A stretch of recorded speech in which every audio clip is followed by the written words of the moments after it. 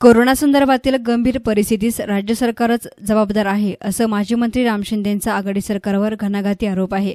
जामखेड तालुक्याने सर्वच परिसरामधील कोविड रुग्णालयाला भेट दिली आणि तेथील सोयीसुविधांसंदर्भात त्यांच्याशी चर्चाही केली. तेव्हा बऱ्याच गंभीर गोष्टींचा खुलासा समोर आला असून ही अतिशय गंभीर बाब आहे. कारण येथील प्रत्येक हॉस्पिटलमध्ये बेड भरपूर शिल्लक आहेत परंतु ऑक्सिजन पुरवठा होत नाही. तसेच कोरोना रुग्णांसाठी वाचण्याचा शेवटचा उपाय म्हणून वापरले जाणारे रेमडेसिवीर इंजेक्शनचा तुटवडा निर्माण झालाय. ते इंजेक्शन फक्त बारामतीमध्येच कसं मिळतात? मतदारसंघात का मिळत नाहीत? असं नाव न घेता रोहित पवारांवर त्यांनी निशाणा साधला. इंजेक्शन मिळत नसल्यामुळे कित्येक जणांना आपला जीव गमवावा लागतोय. याला जबाबदार दुसरं तिसरं कोणी नसून लोकप्रतिनिधी आणि राज्य सरकार हेच आहेत. त्यांनी त्यांची नैतिक जबाबदारी समजून हे सर्व सुरळीत करणं गरजेचं असताना देखील राज्य सरकार आणि त्यांचे राज्यकर्ते दुर्लक्ष करत लोकांच्या जीवाशी खेळत आहेत. हे बरोबर नाही. खाजगी कोविड हॉस्पिटलला आज बहुतेक ठिकाणी मी भेटी दिल्या. त्यांच्या अडीअडचणी समजून घेतल्या. आणि सर्व डॉक्टरांचं एकंदरीत मत आलं की आमच्याकडे बेड शिल्लक आहेत पण प्रशासनाच्या वतीनं आम्हाला ऑक्सिजन पुरवठा होत नाही. तो जर ऑक्सिजन पुरवठा झाला तर आम्ही पूर्ण क्षमतेने इथं रुग्णांना सेवा देऊ शकतो. परंतु गेल्या काही दिवसात तीन वेळा ऑक्सिजनचा पुरवठा खंडित झाला. त्यांच्या नातेवाईकांचा रोष आमच्यावर आला. प्रशासनाने ऑक्सिजन पुरवठा करायला हात वर केले. सुविधा उपलब्ध करून दिले नाही आणि ऑक्सिजन अभावी लोकांचे जीव गेले. याला पूर्णतः शासन जबाबदार आहे. ऑक्सिजन पुरवठा करायला हवा होता. आणि लक्ष नसल्यामुळं नियोजनाचा अभाव असल्यामुळं लोकांचा जीव टांगणीला लागला आणि लोकांना याच्यामध्ये आपला जीव गमावा लागला.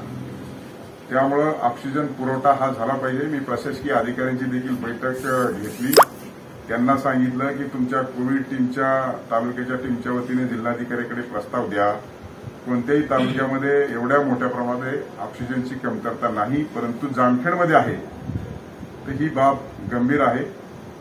त्याचबरोबर जी रेमडेसिवीरच्या इंजेक्शनची अडचण होती आहे बारामतीला रेमडेसिवीर मिळतात पण जामखेडला मिळत नाही ही अतिशय गंभीर बाब आहे. त्यामुळं एवढ्या मोठ्या प्रमाणात रेमडेसिवीर आपल्या तालुक्यात मिळत नाही.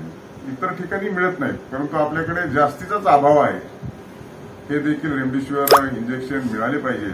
आणि शेवटचा डोस म्हणून लोकांची अपेक्षा आहे की रेमडेसिवीर इंजेक्शन हे मिळाली पाहिजे ते देखील मिळत नाही. त्याचबरोबर प्रशासनाला विचारलं की आतापर्यंत किती रुग्ण हे दुसऱ्या वेव्हमध्ये रुग्ण दगावले तर त्यांना वेगवेगळे आकडे सांगितले त्यांच्याकडे कुठलाही आकडा नाही. परंतु गावोगाव वाड्या वस्तीवरती मोठ्या प्रमाणामध्ये कोरोनाचा फैलाव झाला आहे आणि रुग्ण दगावलेत. शासनाकडे कुठलीही नोंद नाही. शासन हे आकडे लपवत आहे आणि हे आकडे लपवले नाही पाहिजे. लोकांच्यात प्रबोधन झालं पाहिजे. लोकांना रुग्णांना सेवा दिली पाहिजे. अशा प्रकारचं चित्र आज मी सगळ्या हॉस्पिटलला भेट दिल्याच्या नंतर मला पाहायला मिळालं. अतिशय दुर्दैवी आहे. त्यामुळं तिथं कॉर्डिनेशन नाही. प्रशासनाचा नियोजनाचा अभाव आहे. आणि कोणाचंही लक्ष नाही. अशी परिस्थिती निर्माण झालेली आहे.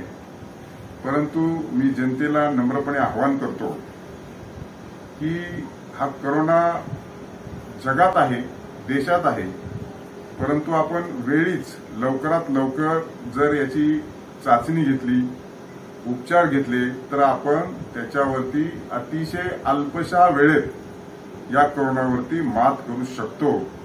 त्यामुळे याला घाबरून जायचं कारण नाही. कोणी नावं ठेवेल म्हणून आपण चाचणी करत नाही ते पण बरोबर नाही. त्यामुळं लवकरात लवकर चाचणी करणं आणि उपाय करणं. अंगावर हा रोग काढू नये.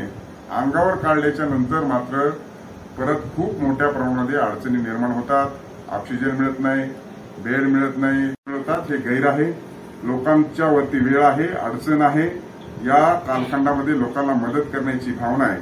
तुम्ही प्रसिद्धी मिळवा पण स्वतःचा अर्थसहाय्य खर्च करून मिळवा. अशा प्रकारची भावना आहे.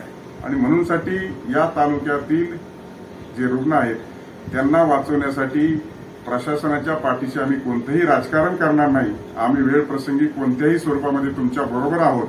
परंतु तालुक्यातील रुग्ण वाचले पाहिजेत. News reporter Nasri पठाणसह cameraman Ashokveer S nine media Jamkhed.